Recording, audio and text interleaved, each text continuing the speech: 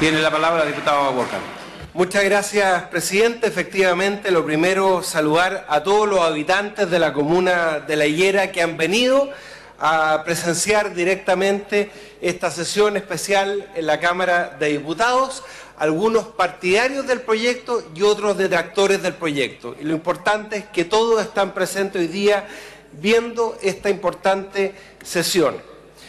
Sean mis primeras palabras para citar la declaración que emitió el Consejo Regional de Coquimbo después de la votación de la resolución de calificación ambiental de este proyecto. ¿Qué dijo el Consejo Regional en una votación que comprendió a diputados desde el Partido Socialista, de consejeros regionales desde el Partido Socialista hasta la UDI?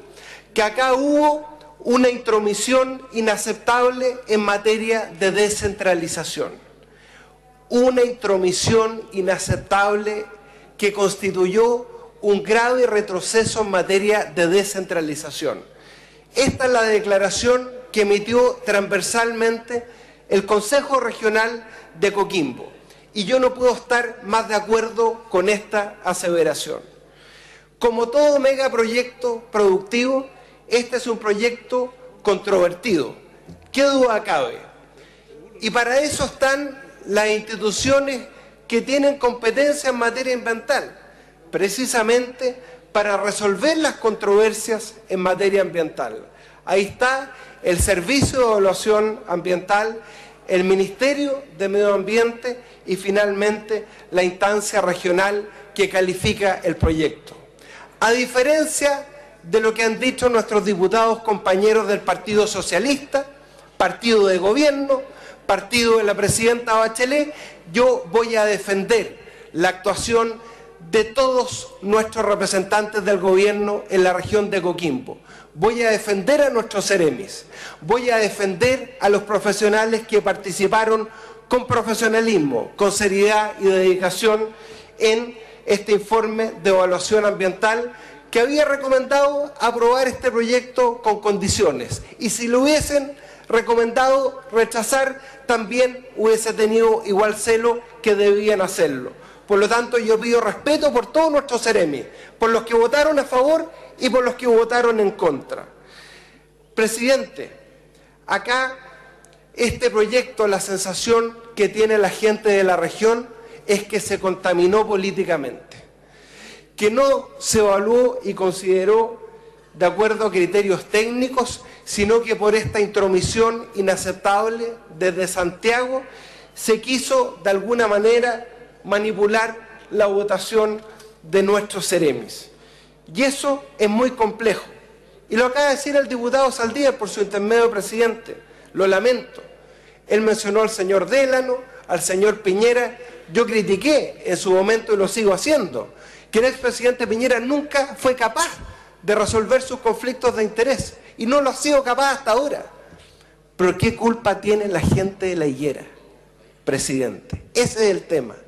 Acá los proyectos tienen que evaluarse en su mérito, técnicamente. ¿Para qué decir las amenazas del senador Girardi un día antes de la votación? Que iban a ser destituidos de sus cargos los seremes que votaran de una u otra manera.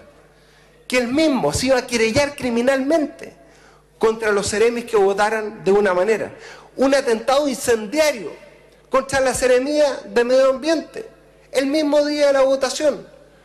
Nadie dijo nada respecto de estas consideraciones. Presidente, yo quiero saludar a las organizaciones de la Mesa Comunal de la Higuera que están hoy día presentes, con quien nos, nos hemos reunido varias veces. ¿Sabe por qué, presidente? Ellos fueron capaces de imprimir una visión moderna de cómo se deben enfrentar estos megaproyectos a través de un acuerdo marco, exigiéndole a las empresas, y yo espero que ahora se forme un precedente para todos los megaproyectos, que tienen que cumplir con la normativa ambiental, pero no solo cumplir con la normativa ambiental, tienen que hacer socios a la comunidad mediante proyectos de inversión en beneficio de una de las comunas más pobres de Chile, de una de las comunas que tiene el más alto índice de desempleo. Yo espero que en definitiva impere ni más ni otra cosa que la institucionalidad ambiental, presidente. Muchas gracias.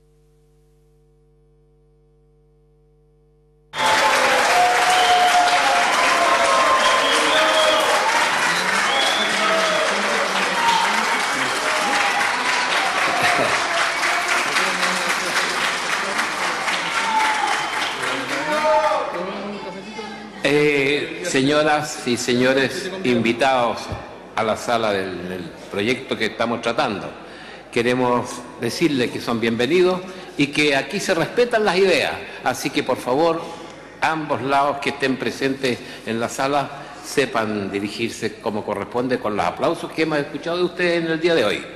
Aplausos y, por qué no decirlo, apoyo. Tiene la palabra el diputado Miguel Ángel.